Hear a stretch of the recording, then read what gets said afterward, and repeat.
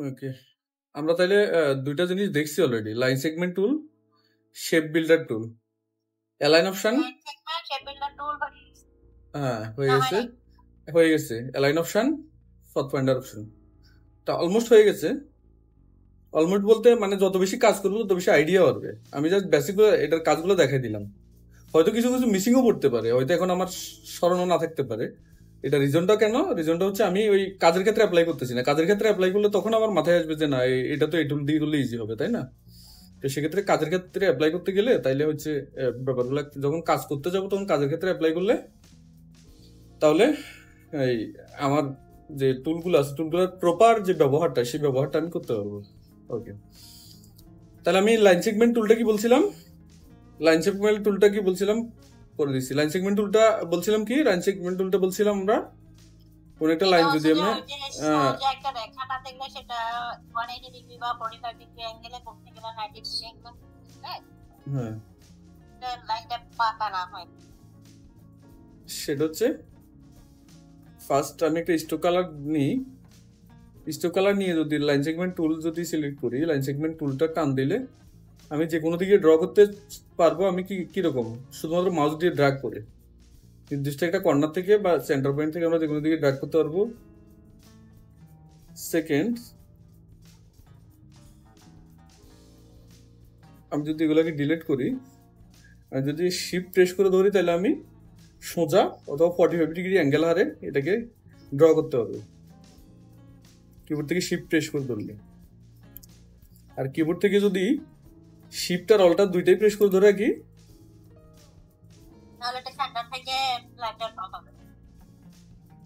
Alter শুধুমাত্র alter press করে ধরে রাখলে ওই যে আমরা মানে যেরকম ইচ্ছে সেরকম নিতে পারব।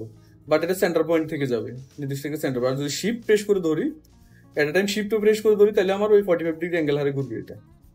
সেন্টার পয়েন্ট থেকে যাবে এবং ফর্টি ফাইভ ডিগ্রি অ্যাঙ্গেল হারে ড্র হবে। শিফট আর অল্টার মানে লাইন ড্র করার পরে আমি যদি শিফট ধরে রাখি এটা রোটেট হতে থাকবে। ফর্টি ফাইভ ডিগ্রি হারে রোটেট হবে। এলোমেলো হবে না আর কি। নির্দিষ্ট একটা কোনাকার হারে রোটেট হবে। আর ইয়েটা হচ্ছে যে আমরা যখন ওই ইয়াতে যাব পথ পাইন্ডারে যাব তখন আর কিছু অপশন দেখাবো তো তখন আরও কিছুটা ক্লিয়ার হবে। ওকে এখন গেল এটা। এখন আমরা আমরা যদি পাইন্ডার অপশনটাতে যাই আমরা ফার্স্টে অ্যালাইন টুলটা দেখাই ফার্স্টে কি দেখাবো? অ্যালাইন টুল পথ এটা কি ইয়াতে ওই অবজেক্ট অবজেক্ট অপশনের মধ্যে? হ্যাঁ এই যে পাথ পাইন্ডার অপশন হ্যাঁ অবজেক্ট অপশনের মধ্যে।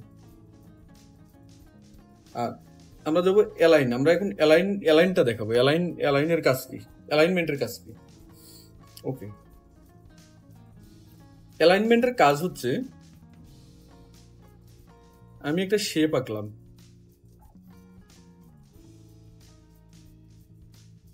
ব্ল্যাক কালার রেড কালারটা চৌকে লাগে বেশি।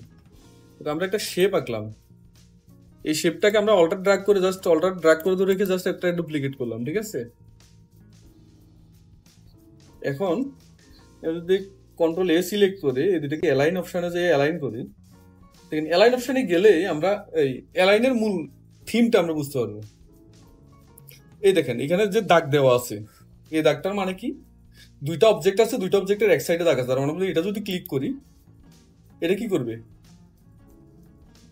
হ্যাঁ, হ্যাঁ এটা সাইড এটা সাইড বরাবর হ্যাঁ সুন্দর করে অ্যালাইন হবে।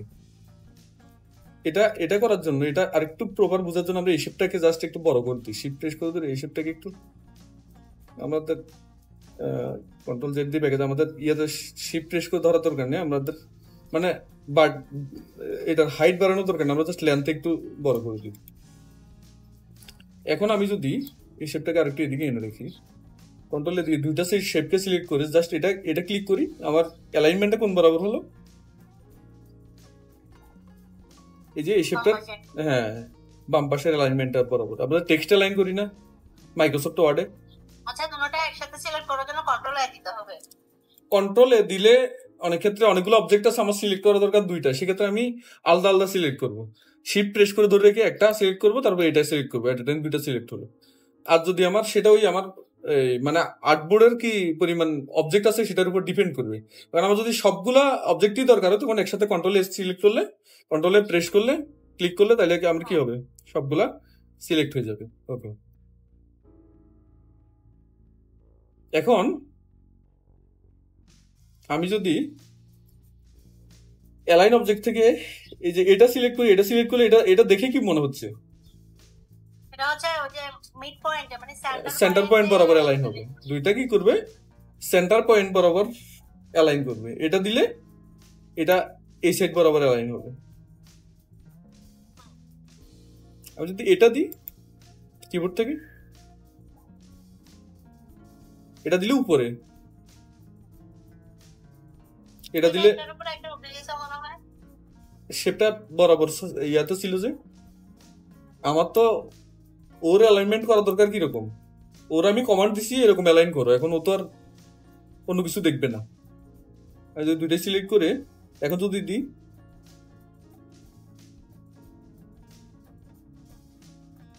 আমার অ্যালাইনমেন্টটা কীরকম দরকার? আমি সেই অনুযায়ী এখানে অবজেক্টকে কমান্ড দিতে হবে।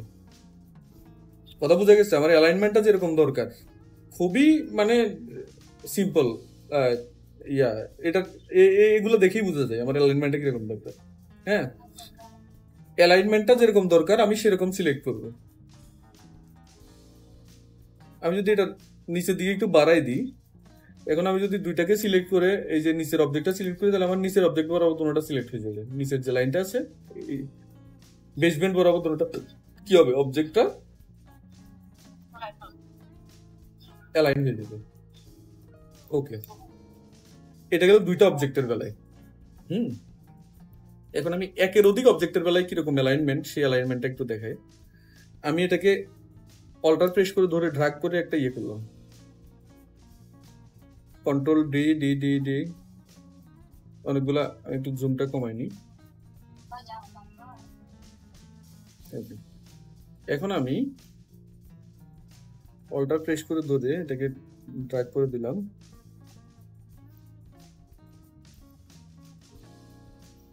ওকে।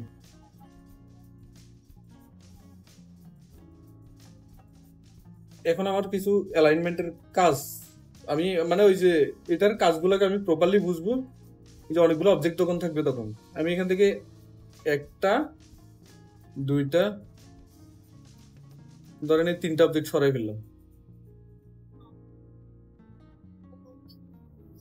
এই তিনটা অবজেক্ট সরাই ফেললে এখন আমার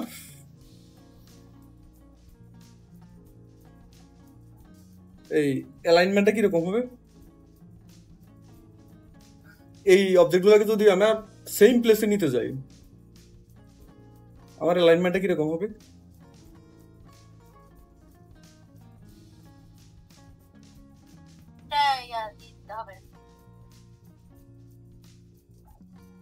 আচ্ছা ফার্স্ট একটা দেখাই দিই, একটা দেখাই দিলে কিছুটা ক্লিয়ার হবে। আমি যদি এখান থেকে সবগুলো অবজেক্টকে সিলেক্ট করে ফার্স্ট হচ্ছে আমি যদি এই লাইনের সাথে অ্যালাইন করতে চাই, তাহলে আমি এটাকেও শিফট প্রেস করে যে কোনো একটা অবজেক্ট সিলেক্ট করব এখানে। যে কোনো একটা অবজেক্ট সিলেক্ট করছি চারটা অবজেক্ট সিলেকশন আছে হ্যাঁ? এখন আমার এখানে একটা অ্যালাইন টু একটা অপশন আছে অ্যালাইন টু এখানে এটাকে মানে কি বুঝাচ্ছে? অ্যালাইন টু আর্টবোর্ড এটা বুঝাচ্ছে কি?